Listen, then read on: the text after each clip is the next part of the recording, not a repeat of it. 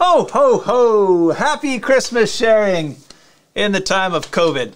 My name is Dan Harms. I'm all alone in this room, so I don't need that mask. It's good to be with you. Uh, I want to give you some information about what Christmas sharing is. Christmas sharing is a program that we've been doing here at St. Bridget for over 20 years. And the goal of Christmas sharing is to make uh, those in need make their Christmas a little bit brighter. Uh, and so it's not providing a full blown Christmas for every single family, uh, but it is offering a few small gifts, uh, some toiletries, and some food items to families in need. Now, in normal years, we will serve up to about 200 families uh, or more, depending on the year which is tremendous. That's a huge, huge number. Almost a thousand people will end up with, with some kind of benefit from the work of Christmas sharing. This year, because of COVID, we're drawing the numbers down a little bit. We have we're aiming at about 170 families, uh, and here's how we come to understand who those families are. The families come to us through social agencies primarily. We work with four primary social agencies. Each one of these agencies, uh, they might be in um, out in the mountains. They might be here in Metro Richmond. But each one of these agencies identifies, you know, up to about 30 families that are in serious need. Uh, and in order for them to qualify, the agencies have to kind of hand select each one of these families. Uh, what we do is we send the agencies a list of all of uh, the things that we do and do not provide. Um, and so this year in particular, we've been really clear and, and a little bit more forceful about the fact that we do not provide luxury goods for, especially for adults. We don't provide name brand or luxury goods um, for adults. If you're a kid and you really want a pair of Nike shoes, we'll allow that uh, because a 14 year old who really wants Nike shoes is different than a 35 year old who wants Nike shoes.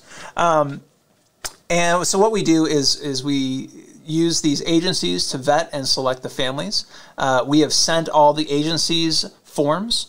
And basically, what they do is they'll distribute those forms to their different families. The families will fill out for each individual in the family, they'll fill out all the information of what they're requesting, their sizes, uh, a number of different ideas for different gifts that they would like. Uh, we have spots for them to submit five different gift requests, and we tell them that we will try to fulfill two of those uh, two of those gift requests. Some people will get more, some people will get fewer.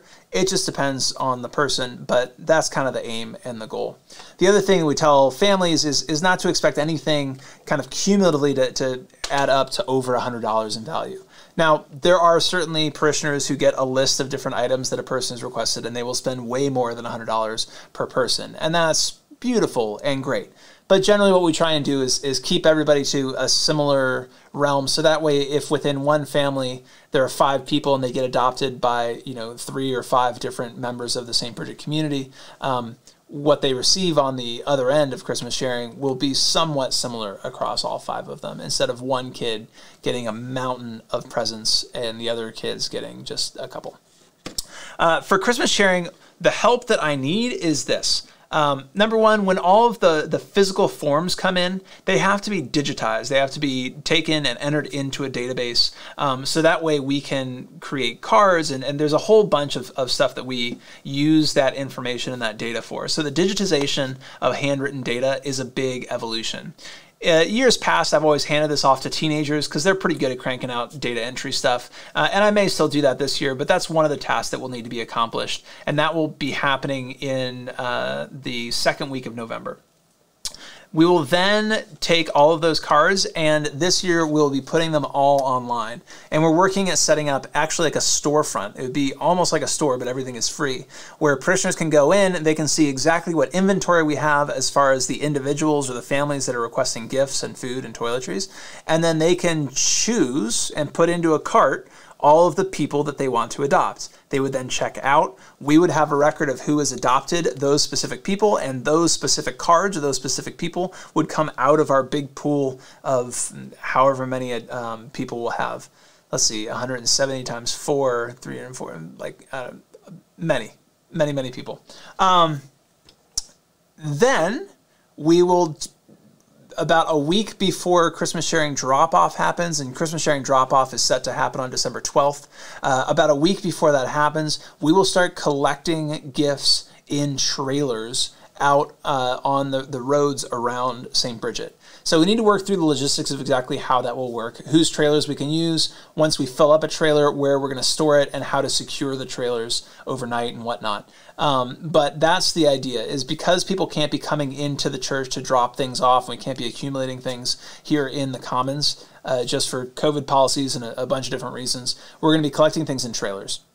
Um, I'm going to need volunteers to go and man those trailers uh, in that week before December 12th um, in the evening. So maybe we'll have a two hour window between, uh, I don't know, 6 and 8 p.m. or 5 and 7 p.m., whatever, when people can drop off their gifts early. It's very helpful to parishioners because it gives them some flexibility on when they drop off their gifts. It's also really helpful for us because it's a lot less to do on the final day of Christmas sharing drop off. The final day can be really crazy. In the past, for years and years, it was the only day that we allowed people to drop off gifts, which was kind of insane. And so, from starting at 6 a.m. until about 10 a.m., we would just have a non-stop line of cars dropping off gifts we will still have a steady stream of cars dropping off gifts on Christmas uh, drop off day, so on December 12th. And we will be collecting those gifts and we will be putting them into Mother Presentation Hall, which is the gymnasium owned by the school. Um, once they're there, the gifts will be checked in and they will be inventoried and sorted by family um, and just and sorted out by agency. So that way, when the agencies come at around 11 a.m., uh, we can start loading all of those gifts into the agency's trucks. They bring U-Haul trucks and whatnot, and then we will load the gifts in. So in years previous, we've always used confirmation teens for all of this work. And confirmation teens are great because they're teens, and you can just be like, hey, go lift something. And then they generally do it for a little while, and then they get distracted. Um, but this year, a couple things have changed. One, um, a service project is no longer a requirement by the diocese for confirmation, so I can't really force a bunch of confirmation teens to come and and provide manual labor for this event. Number two, because it's COVID, uh, we don't really want 50 teens in MPH all milling around and touching everything. Um, really, what we're looking for is, and we're trying to work on final numbers for this, but probably about 20 to 25 people. Um, and I think with that amount of people, young adults, adults, whatever, uh, with that number of people, we can get all of the gifts sorted, we can get them all checked in, um, and we can get all of the gifts that are dropped off brought in and loaded into the into MPH and then ready to be turned around and sent back out. Um, drop off day is a fun day. It's a long day. It's at least 6 a.m. Uh, until about 12:30 uh, or 1 o'clock in the afternoon. But it is a beautiful day. It's an amazing day to watch the generosity of St. Bridget all come into MPH um, to go through the process of organizing and sorting all the gifts and troubleshooting and figuring stuff out is is really just kind of a ton of fun. And then at the end of the day, we take all those gifts and we load them up into trucks and we send all of these agencies and families home um, with Christmas with a Christmas gift. It's a really, really beautiful thing. And, and so the mission of St. Bridget and the mission of Christmas sharing is just to make Christmas a little brighter for those in need. And that's exactly what we're looking to do. So I am looking for volunteers. I am looking for uh, whomever, just people who are able bodied and, and willing to, to come and um, respect social distancing. Uh, wear masks, especially when we're indoors and, and interacting with people, um, and and get this project accomplished. It's a huge evolution, but it's really beautiful. So thank you very much for your consideration and for thinking about what Christmas sharing um, is and, and how you can help. And I would love to get your help moving forward. God bless you and uh, thank you for your prayers.